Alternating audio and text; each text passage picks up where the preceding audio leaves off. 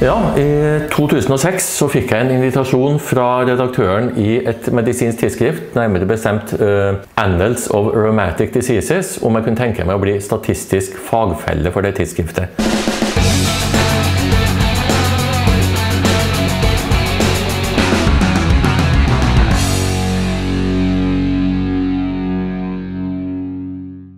Det tenkte jeg kunne være interessant, eh, så, jeg, så fra da av så har jeg da gjort det som kalles statistisk fagfellevurdering av en 30-40 manuskript per år. Og hva er det for noe? Jo, når, eh, når tidsskriftet får inn manuskript som først er vurdert og funnet potensielt publiserbare, men at eh, man er i tvil om de har brukt riktige statistiske metoder og gjort dette på riktig måte statistisk sett, så sender redaktøren manuskriptet til meg og ber meg gå gjennom eh, de statistiske metodene. Eh, Dette er en veldig interessant jobb. Det er lærerikt. Eh, jeg har også vært nødt til å lære meg en del nye metoder sjøl, hvis de har brukt metoder jeg ikke kan fra før.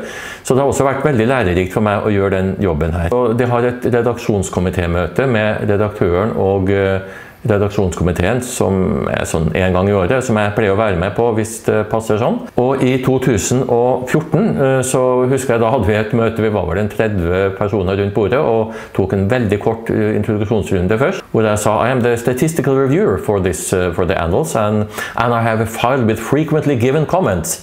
Og da var det en, en av de som satt rundt bordet som sa I would very much like to see that file.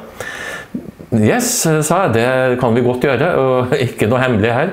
Så vi ble enige om at jeg skulle skrive en artikkel, en kort artikkel med, som ble hetende 'Statistical Review Frequently Given Comments'. Så der har jeg da, Den kom på trykk i 2015, og her har jeg artikkelen. Den har da øh, det er 14 forskjellige kommentarer som går igjen en del. Alt fra viktige ting til detaljer og småpirk. Noe av det viktige er dette med manglende data. Eh, I nesten alle kliniske forsøk og nesten alle observasjonelle studier så har du ikke helt komplette data. Det kan hende at du mangler noen blodtrykksmålinger eller eh, noen andre noen av dataene på noen av de personene som var med i studien.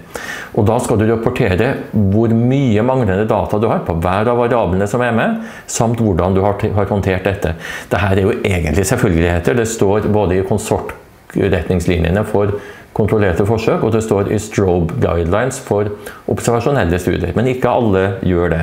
Andre ting vi kan nevne som går igjen en del Ja, En annen ting som er viktig også, er de såkalte Vancouver-retningslinjene eh, for eh, medisinsk publisering. Noe av det jeg skriver her, er også ting som står i Vancouver-retningslinjene, men så er de litt detaljerte, og ikke alle har lest alt som står der. Og til slutt i artikkelen så dukker det opp sånne ting som eh, format for det som kalles P-verdier, altså hvor mange desimaler skal vi ha med.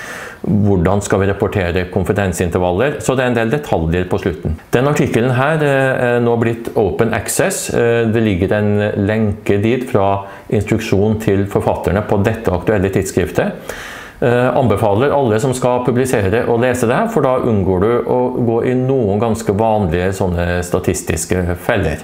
Takk for oppmerksomheten.